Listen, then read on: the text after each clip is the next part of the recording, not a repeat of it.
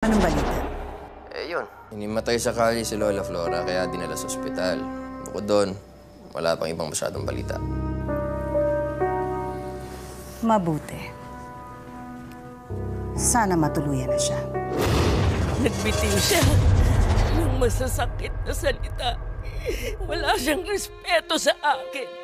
Kaya nasagot ko siya. Nalalo siyang hindi ka respe-respeto, hindi maganda ang nangyari. Lola Flora. Anong nangyari? Chang, Lola Flora, ano nangyari? Ramil, si Lola Flora natagpo ang walang malay sa kanil sa may palasyo. Pumunta siya doon para kausapin sana si Presidente. Kaya lang ang humarap sa kanya si, si Madam Lily. Binasto si Lola Flora ni Madam Lily kung ano-ano masasamang salita sinabi sa kanya. Kaya siguro sa sama ng loob niya, kaya ninimatay siya sa kalye. Kawawa naman si Lola Flora. Ano?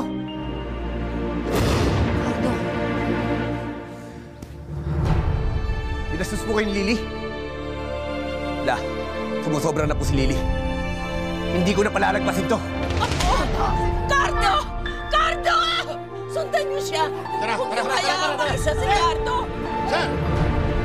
Yun ang mga inaalala ko. Yun ang inaalala ko. Baka kung anong gawin ni Cardo.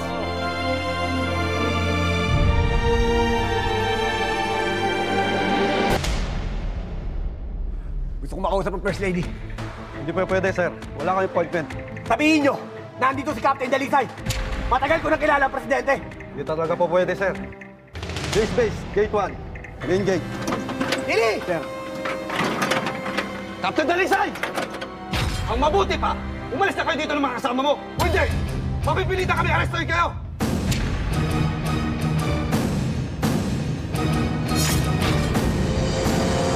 Sir, paano lang? Magkakagulo lang. Dalisay, delikado itong ginagawa mo.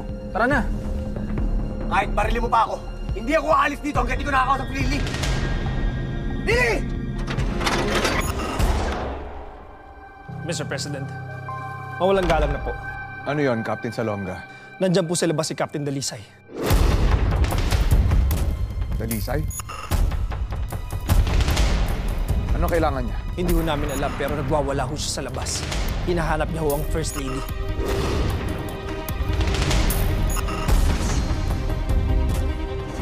Itigil mo yan eh! Lily! Cardo! Anong ginagawa mo dito sa palasyo? Mr. President, gusto ko malaman nyo na dahil sa asawa nyo, buti pa mahamak si Lola Flora! Bakit? Ano nangyari kay Lola Flora? Na-hospital siya! Pinagsalitaan siya ng masakit ni Lily! Noon si Lola Benpin! Ngayon naman si Lola Flora! Lily, anong ginawa mo?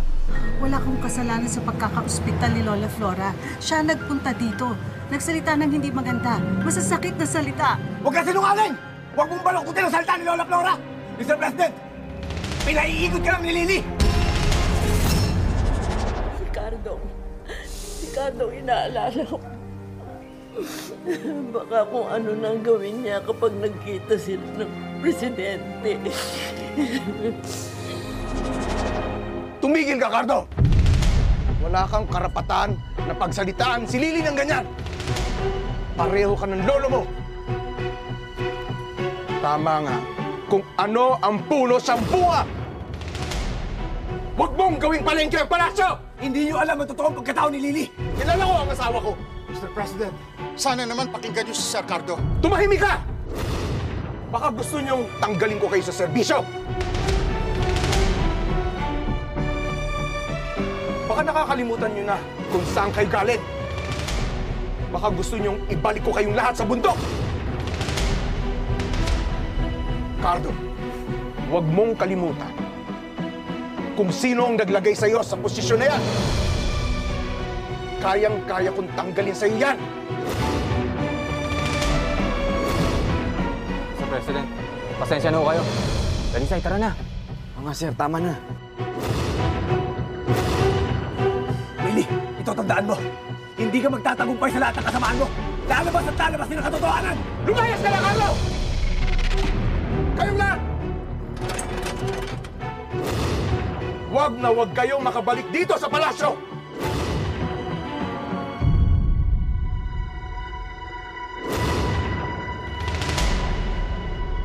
Lumayas! Mr. President, sana pala hindi kita niligtas noon. We'll be right back.